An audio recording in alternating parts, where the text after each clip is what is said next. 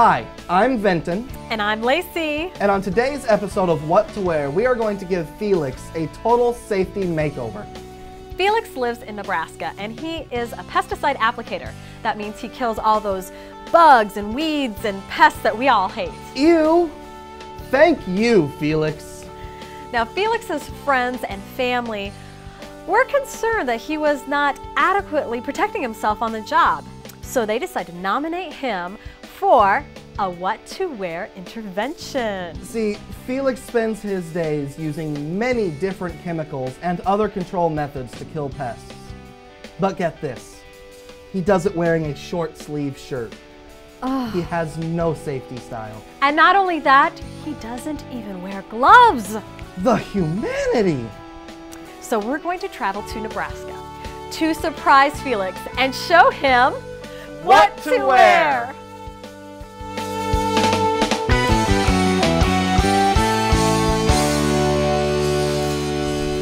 We're here with Felix's family, friends, and coworkers, and Felix should be arriving soon. Come on, let's first talk with Alan, Felix's coworker. Hi, Alan. Why did you nominate Felix for our show? Well, Felix is a good guy, but he just doesn't take proper precautions. He thinks he can use pesticides and they won't harm him, even if he's just using them for a little while. I've been in this industry a long time, and it's important to keep safe during the application process. Great. Well, that is why we're here. All right. Let's go join the rest. Great. So, Mandy, what do you think about your husband's work wardrobe? Well, honestly, I worry about him. T-shirts don't seem to have enough protection against pesticides. It might get on his skin or it might splash in his eyes. Well said. Also, I worry about him tracking pesticides in on his shoes or from his clothes. We have little kids, one just about to crawl, and a dog. And I hope they don't get exposed to the chemicals Felix uses at work. Well, it certainly sounds like Felix needs some fashion advice. And it looks like he's coming now.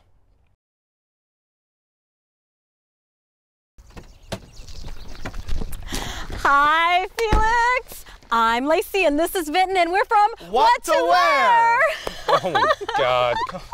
now, your friends and family have been very concerned about you and we are here to give you a safety wardrobe makeover. So what do you say, Felix?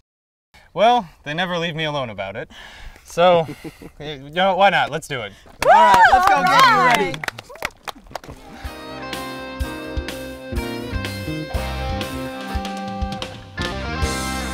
Don't you tell us a little bit about your fashion sense when it comes to your job? Why do you dress the way you do? Well, because I want to be comfortable. And I wear jeans to protect my legs. And I'm always really careful with the chemicals, so I don't know why people are so worried about me. And plus, I work in the summer, so sometimes it's just too hot to wear anything but t-shirts. Well, Felix, bravo on wearing the long pants. And as far as t-shirts, you don't have to give up wearing them in the hot weather. But when you're making a pesticide application, you need to remember to bring a long sleeve shirt with you to put over top of your t-shirt to protect you. And remember, a long sleeve shirt that's been rolled up does not count as long sleeve. See, we checked with the Nebraska Department of Agriculture who regulates the pesticide applicators in your state, and they said that every pesticide has a label on it that explains how to use it properly as well as what to wear for protection. Yes, and I, I follow those procedures. It's just all that PPE stuff is for people who aren't very careful with the chemicals. Actually, the NDA explained to us that the label is the law. I mean, I know you're careful, but accidents sometimes do happen. We want to make sure that you're safe. I do want to obey the law. We know you do. And that's why we're here. Let's get started.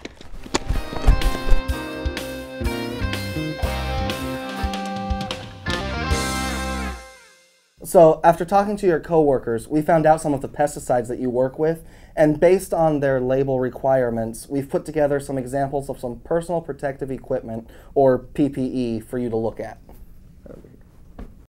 This label is pretty simple. It calls for long sleeves, long pants, shoes with socks, and chemical resistant gloves. Cassandra here has chosen some disposable nitrile gloves to wear so she can throw them out once she's done with the job. We would also like to point out that an alternative to wearing a long sleeved shirt and long pants is to wear a one piece Tyvek suit or coveralls that cover your entire body. You can wear either of these over your normal clothing while you are applying pesticides. Martin is modeling all the basic PPE that Cassandra has, but the label for the pesticide he'll be using has the potential for danger if it's inhaled. So he's also wearing a half-face cartridge respirator to protect his lungs. One thing to note is that respirators must have a good seal around the mouth and nose to prevent any pesticides from getting inside. Carefully follow the use and cleaning instructions included with the respirator. You'll notice too that Martin has green reusable nitrile gloves. These are extra long and can be rolled over the top of his sleeves to keep pesticides from getting on his arms. Finally, we know that you sometimes mix and load pesticides before applying them. Colleen is wearing goggles, a full apron, and Viton gloves to help protect her in case of splashing. Okay, so we're gonna spring you loose, Felix. We're gonna give you $2,000 $2,000. To buy the appropriate clothing and equipment that you need to satisfy those labels for that pesticide that you work with. So you can stay safe. Good luck. Well, Felix, how did it go? I was amazed with all the PPE choices. I had no clue how many options there were out there. Okay, let's see. Good job with the shirt and pants. That'll definitely help limit your exposure. And you're spot on with the jeans. They work great. The only kind of pants you want to avoid are the ones with the loosely woven fabrics.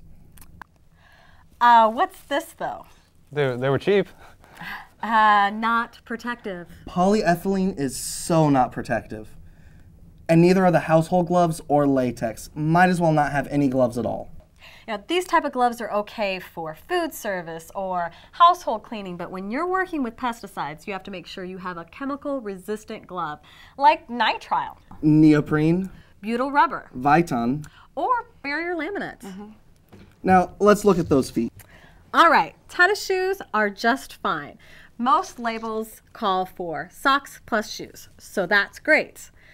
However, sometimes you will need to have a chemical resistant boot. You always want to avoid leather because pesticides can penetrate the material. And what else did you get? Well, Benton, I got a respirator and a full face shield because uh, sometimes I work with chemicals that produce more fumes than the other ones. And also, as you guys said, I mix pesticides, so I thought a full face shield might be better than just the goggles. Good thinking, Felix. Some labels will give you the option of either using the full face shield or goggles, whereas others will require that full face shield. So, it looks like you're ready to go. And as we said, the respirator is going to help protect your lungs from pesticide inhalation. The half face respirator is a commonly used one, but others may be required depending on what type of work you're doing. Well, good job, Felix. I think all we need to do is get you some nitrile gloves and we can show you to your friends and family. So let's go. Let's go.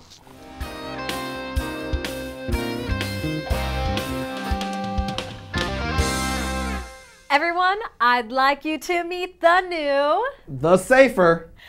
Felix.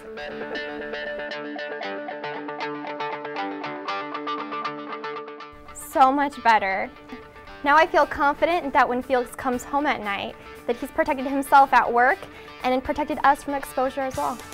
It'll be great having Felix back at work again, following the PPE requirements to keep him safe.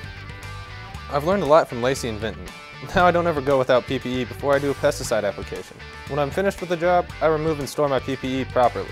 Wash my hands and take off my shoes before going into the house. This helps protect not only me, but my family as well. Well, another successful show, Vinton. That's right, Lacey.